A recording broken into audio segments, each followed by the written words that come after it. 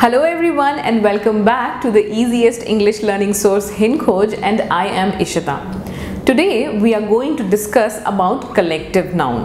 एक साथ जब बहुत सारी चीज़ें या नाउन दिखते हैं तो हम उन्हें क्या कहते हैं so we will learn the terms today और वीडियो के एंड में आपके लिए एक ट्रिविया भी है so stay tuned with me till the end of the video lesson सबसे पहले जानते हैं कलेक्टिव नाउन कहते किसे हैं collective noun describes group of things people और एनिमल्स सो जब बहुत सारी चीज़ें झुंड में दिखें तो उन चीज़ों के लिए एक नाम दिया गया है।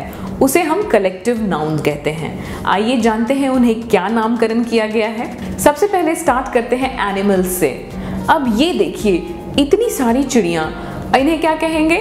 ये हैं फ्लॉक ऑफ़ बर्ड्स और अगर कैटल नज़र आया तो? हर्ड ऑफ़ कैटल अगर आपको पॉन्ड में बहुत सारी फ़िश दिखें तो आप उन फ़िश के झुंड को कहेंगे स्कूल ऑफ़ फ़िश और अगर आप कभी बीच समंदर में हैं ओशन में हैं, और आपको वेल्स दिखें बहुत सारे तो आप उसे कहते हैं पॉड ऑफ़ वेल्स और अगर कभी आप जंगल में जा रहे हों और आपको लायंस नज़र आ जाएँ तो आप क्या कहेंगे?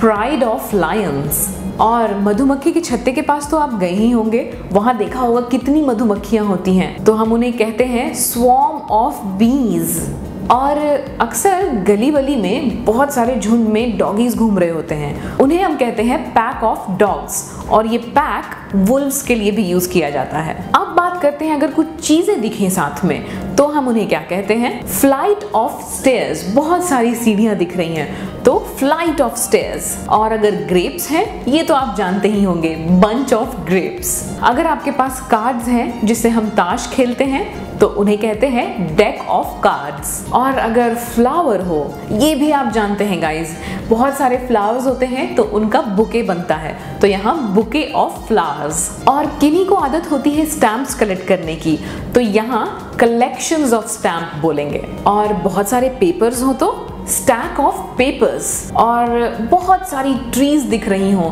तो उस जगह को क्या कहते हैं? फॉरेस्ट तो यहाँ बहुत सारी ट्रीज नज़र आए तो उसे हम फॉरेस्ट ऑफ़ ट्रीज कहते हैं। अब बात करते हैं कि जब लोगों की झुंड दिख रही हो, इंसानों की तो हम क्या कहते हैं? रेलवे स्टेशन पर बहुत सारे लोग होते हैं। मेट्रो स्टेशन पर या किसी मार्केट में जो बहुत फ़ेमस हो, वहाँ अक्सर बहुत सारे लोग दिखते हैं झुंड में। तो उन्हें कहते हैं क्राउड ऑफ़ पीपल और अगर आपको स्टूडेंट्स दिखे तो क्लास ऑफ़ स्टूडेंट्स और सोल्जर्स दिखते हैं तो आर्मी ऑफ़ सोल्जर्स तो ये थे गाइस कलेक्टिव नाउन्स अब आप जानते हैं हर एक को झुंड में क्या कहते हैं। याद रखिएगा इसे और अगली बार जब आपको लोग झुंड में दिखें या कोई एनिमल दिखे या चीज़ें दिखें तो आप यही यूज़ करिएगा। Now it's time for some trivia guys आज के ट्रिविया में आपके लिए ऐसा इंफॉर्मेशन है जो सुन के आप दंग रह जाएँगे।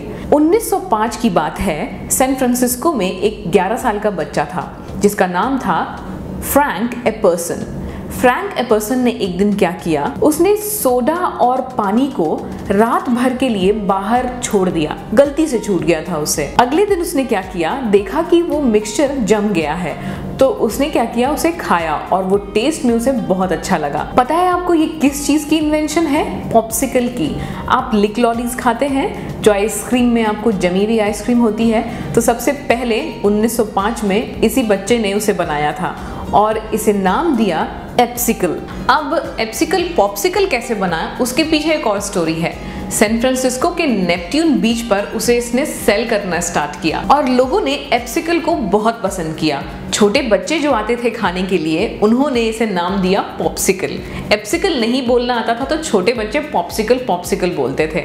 सो so, इसी तरह पूरे वर्ल्ड वाइड ये पॉप्सिकल नाम से जाना जाता है। सो so गाइज़ अब आपको पता है कि ये पॉप्सिकल कहाँ से इन्वेंट हुआ है। याद रखिएगा 1905 में इस बच्चे ने इसको इन्वेंट किया था। Thank you so much for watching the video guys. I hope you like the trivia and the video lesson. Stay tuned with us for more interesting video lessons and trivias. And don't forget to like, share and subscribe our channel. Stay tuned. Till then, take care and happy learning.